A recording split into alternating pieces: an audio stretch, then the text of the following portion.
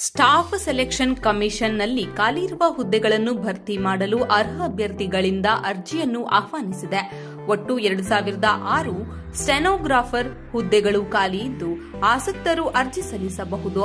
ಸಂಪೂರ್ಣ ವಿವರಗಳಿಗಾಗಿ ಸಾಫ್ಟ್ ಸೆಲೆಕ್ಷನ್ ಕಮಿಷನ್ ಎಸ್ಎಸ್ಸಿನ ಅಧಿಕೃತ ವೆಬ್ಸೈಟ್ಗೆ ಭೇಟಿ ನೀಡಬೇಕು.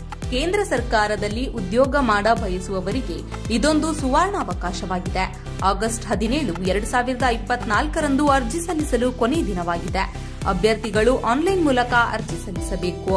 ಅಭ್ಯರ್ಥಿಗಳು ಹೆಚ್ಚಿನ ಮಾಹಿತಿಗಳಿಗಾಗಿ ಎಸ್ಎಸ್ಸಿ ಡಾಟ್ ಎನ್ಐಸಿ ಡಾಟ್ ಇನ್ಗೆ ಭೇಟಿ ನೀಡಬಹುದು. ಅರ್ಜಿ ಸಲ್ಲಿಕೆಗೂ ಮುನ್ನ ಹುದ್ದೆಯ ಕುರಿತಾಗಿ ಮಾಹಿತಿ, ವಿದ್ಯಾರ್ಹತೆ, ಸಂಬಳ, ವಯೋಮತಿ, ಅರ್ಜಿ ಶುಲ್ಕ ಆಯ್ಕೆ ಪ್ರಕ್ರಿಯೆ ಕುರಿತಾಗಿ ತಿಳಿಯುವುದು ಬಹಳ ಮುಖ್ಯ. ಈ ಎಲ್ಲದರ ಕುರಿತಾಗಿ ಮಾಹಿತಿ ಇಲ್ಲಿದೆ. ವಿದ್ಯಾರ್ಹತೆ, ಸಾಫ್ಟ್ ಸೆಲೆಕ್ಷನ್ ಕಮಿಷನ್ ನೇಮಕಾತಿ ಅಧಿಸೂಚನೆ ಪ್ರಕಾರ ಅಭ್ಯರ್ಥಿಗಳು ಯಾವುದೇ ಮಾನ್ಯತೆ ಪಡೆದ ವಿಶ್ವವಿದ್ಯಾಲಯ ಅಥವಾ ಮಂಡಳಿಯಿಂದ ಕಡ್ಡಾಯವಾಗಿ ಹನ್ನೆರಡನೇ ತರಗತಿ ಪಿಯುಸಿ ಪೂರ್ಣಗೊಳಿಸಿರಬೇಕು. ಅಭ್ಯರ್ಥಿಗಳ ವಯೋಮತಿ ಸ್ಟಾಫ್ ಸೆಲೆಕ್ಷನ್ ಕಮಿಷನ್ ನೇಮಕಾತಿ ಅಧಿಸೂಚನೆ ಪ್ರಕಾರ ಅಭ್ಯರ್ಥಿಗಳ ವಯಸ್ಸು ಆಗಸ್ಟ್ ಒಂದು, ಎರಡು ಸಾವಿರದ ಇಪ್ಪತ್ನಾಲ್ಕಕ್ಕೆ ಕನಿಷ್ಠ ಹದಿನೆಂಟು ವರ್ಷ ಗರಿಷ್ಠ ನಲವತ್ತು ವರ್ಷ ಮೀರಿರಬಾರದು. ಮೀಸಲಾತಿ ಅನುಸಾರ ಅಭ್ಯರ್ಥಿಗಳಿಗೆ ವಯೋಮಿತಿ ಸಡಿಲಿಕೆ ನೀಡಲಾಗುತ್ತದೆ. ಸ್ಟೆನೋಗ್ರಾಫರ್ ಗ್ರೇಡ್ ಸಿ ಹದಿನೆಂಟರಿಂದ ಮೂವತ್ತು ವರ್ಷ ಹೊಂದಿರಬೇಕು. ಸ್ಟೆನೋಗ್ರಾಫರ್ ಗ್ರೇಡ್ ಡಿಗೆ ಹದಿನೆಂಟರಿಂದ ಇಪ್ಪತ್ತೇಳು ವರ್ಷ ಹೊಂದಿರಬೇಕು.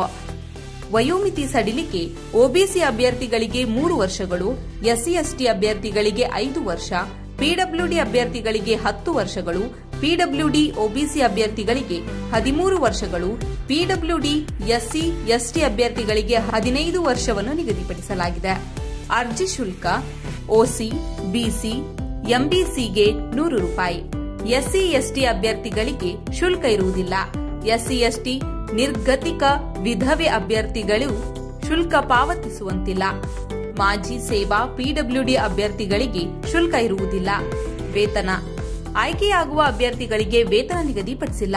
ಅವರು ಅನುಭವ ಮತ್ತು ಕಾರ್ಯಕ್ಷಮತೆಯ ಆಧಾರದ ಮೇಲೆ ಸಂಬಳ ಕೊಡಲಾಗುತ್ತದೆ. ಸ್ಟೆನೋಗ್ರಾಫರ್ ಗ್ರೇಡ್ ಸಿ ಹದಿನೆಂಟರಿಂದ ಮೂವತ್ತು ವರ್ಷ.